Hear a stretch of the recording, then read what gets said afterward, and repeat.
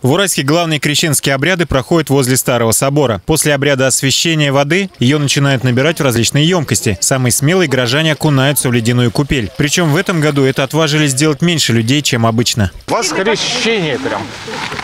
Как решили, что такой мороз? Мороз, это, как говорится, такой святой праздник уже в крови. Я просто по родству уже казак, казачок. Ага. Каждый год купаетесь? Да. Первый раз 18-19 лет.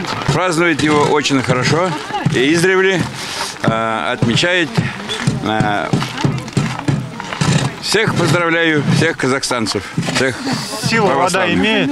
Сила вода имеет, да. Я один год купался три раза. Во избежание несчастных случаев во время проведения праздника Крещения всем желающим совершить обряд освящения в ледяной купели сотрудники ДЧС советуют соблюдать особую осторожность, следовать указаниям сотрудников правоохранительных органов и спасателей, обращать внимание на установленные предупреждающие знаки. Обеспечим безопасность в 14 местах, силами оперативно-спасательного отряда в 8 местах. А В городе из них 7. Это на реке Урал, а, Затон Чапаева, завод «Металлист», а, Старый собор и Коминтерн. И на реке Чиган это женский монастырь, городской парк, спортбаза «Динамо». Здесь на Старом соборе уже искупалось у нас 52 человека вот с утра. Из-за низкой температуры количество немножко поменьше, чем в прошлые года.